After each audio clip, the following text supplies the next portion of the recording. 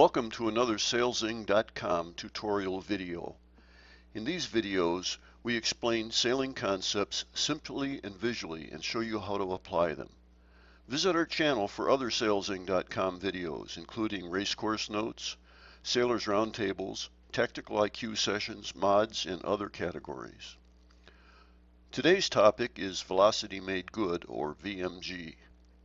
Most newer sailors are not familiar with this concept, so we'll take a moment to go through the definition and show some examples. Then we'll talk about how to use the concept of target boat speed to maximize your VMG. If you prefer reading about this subject, go to sailzing.com for an outline version of this video. Let's start with the definition of velocity made good. It simply means the speed at which you are making progress directly upwind or directly downwind. Here's an example with some made up numbers.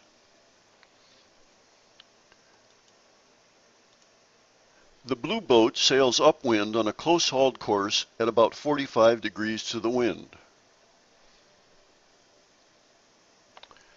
The boat travels 7 units of distance in the 3 seconds, so we can say its boat speed was 7 units in 3 seconds. What is this boat's velocity made good, or VMG?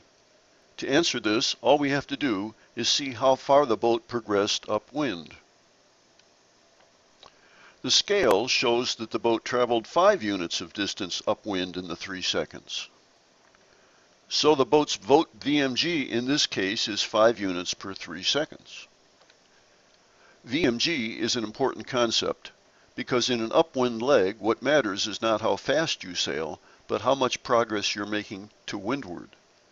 For more on this, see our video on ladder rungs.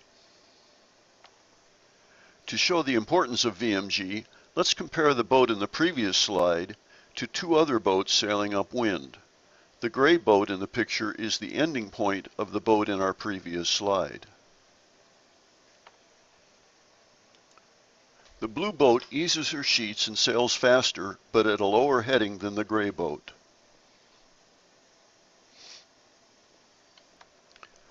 The blue boat's speed was 8 units in 3 seconds.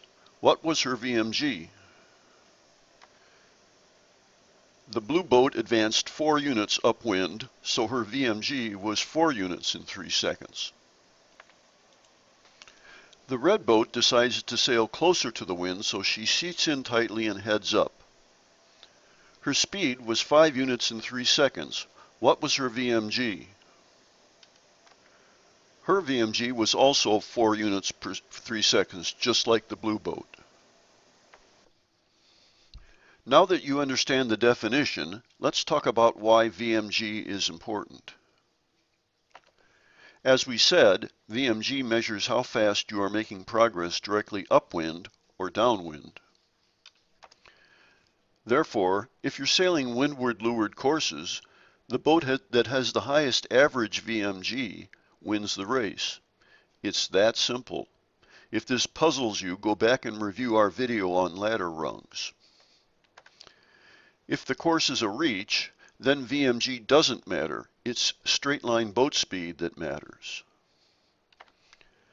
Next, realize that during a race, it's your average VMG that matters. You won't always sail at your best VMG, Sometimes you will pinch or foot or even sail on a header to get to a favorable shift or puff. But once you find that favorable shift or puff, it will gr it greatly increase your VMG. Top sailors don't spend a lot of time talking about VMG or trying to measure it. The concept is important, but measuring it is not. You have to have instruments that sense the actual wind and your progress upwind or downwind. Big keel boats have these instruments, but even for them, VMG changes so rapidly that it's not useful. Instead, we use other indicators to sail at max VMG. We'll talk about these more shortly. Keel boats use instruments to maximize VMG by sailing at what we call target boat speeds. Small boat sailors don't have instruments, but we can learn from the concept of target boat speeds. To understand target boat speed, let's review our previous examples. Remember that the boat that sailed closest to the wind, let's call her A, had a boat speed of 5 and a VMG of 4. Boat B sailed at 45 degrees to the wind and had a boat speed of 7 and a VMG of 5. Boat C footed off and had a boat speed of 8 and a VMG of 4. So boat B had the maximum VMG of all of these three boats. Let's assume that B chose the very best combination of speed and sailing angle. If other boats tried to sail at different angles upwind, you could picture a curve showing how far they would get. A boat that tried to point closer to the wind than A would end up somewhere in here.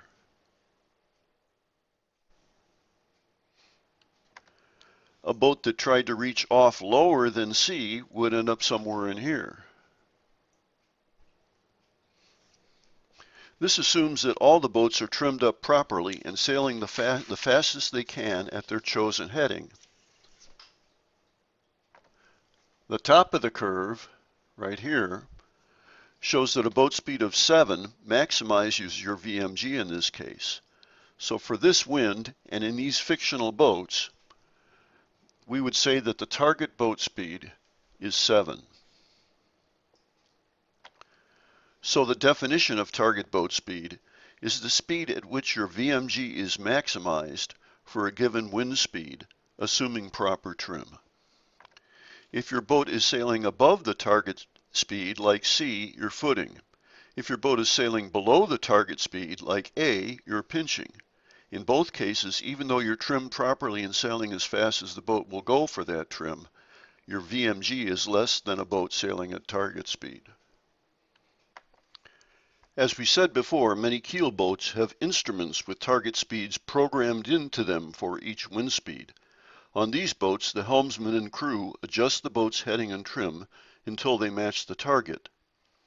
We small boat sailors don't have instruments. We learn to maximize VMG as best we can by feel and other cues. More about this shortly. When sailing upwind, many sailors have trouble getting the most out of the boat in a puff. The target speed concept can help you understand the best way to respond and maximize your VMG. First, realize that target speed and heading angle are different for each wind speed. Let's look at our examples again. In our first example, the target speed was 7. Let's assume that occurred with the true wind at 8 miles an hour and the heading of 45 degrees to the true wind. If the wind increases to 12 miles, miles an hour, say, the target speed and heading will change. Let's say that it changes to a target speed of 9 and a heading of 40 degrees. Think about this question for a moment. If you're sailing in an 8 mile per hour wind and a puff of 12 comes along that lasts for several seconds, how should you respond to maximize your VMG? Should you head up to the 40 degree angle first?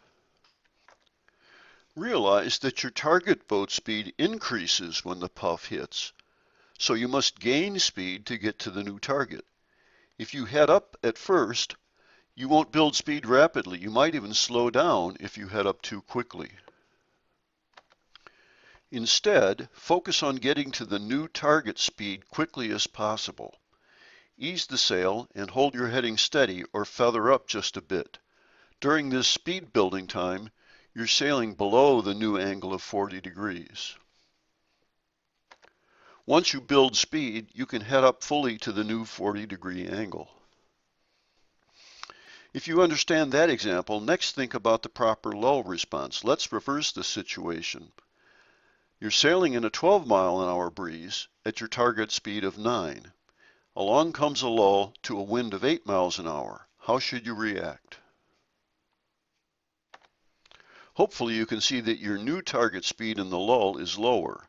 To get to that new target speed quickly, hold your heading even though you are sailing too high for the 8 mile an hour wind. This will bleed off your speed quickly and also you let, let you make more progress upwind for a short time. Once your speed is down, you can bear off to the lower heading.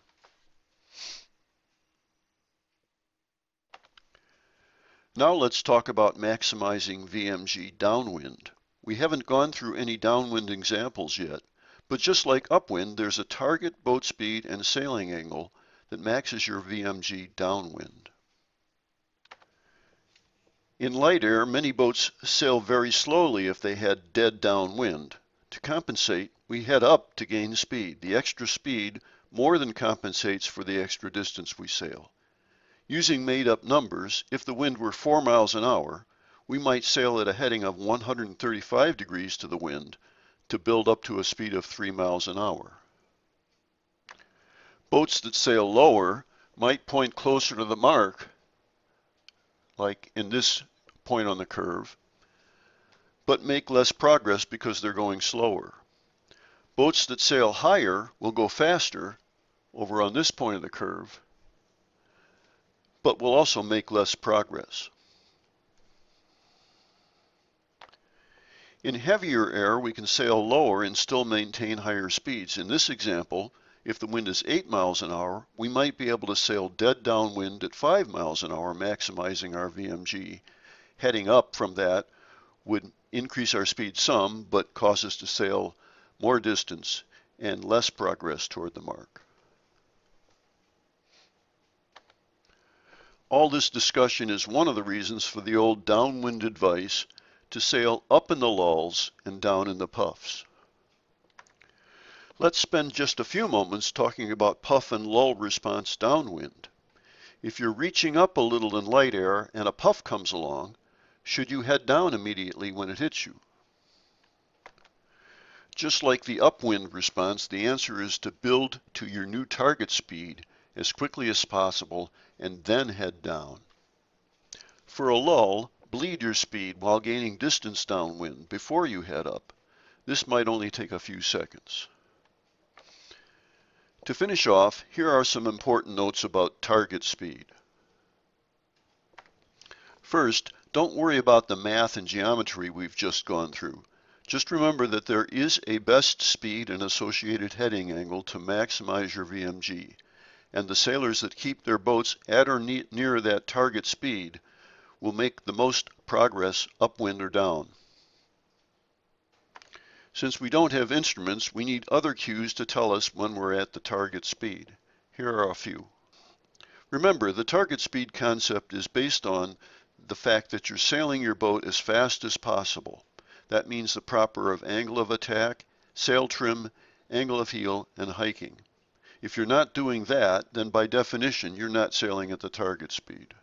Also, once you learn how to respond to puffs and lulls properly, you will feel the difference and you will want to get that feel every time. Further, you can always tell if you're gaining on other boats by comparing ladder rungs. Again, see our video on ladder rungs for how to do this.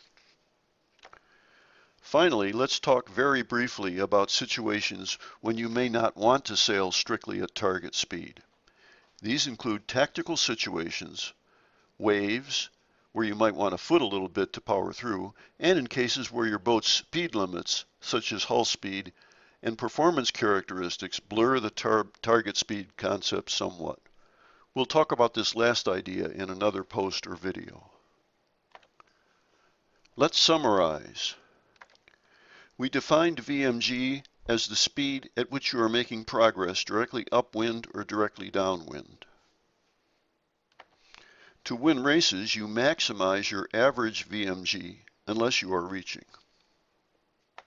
Finally, sailing at the target boat speed maximizes your VMG. Although small boats don't measure target speeds, it's, it's an important concept to apply, especially when responding to puffs and lulls. Thanks for watching. Feel free to leave a comment. If you like our content, please subscribe.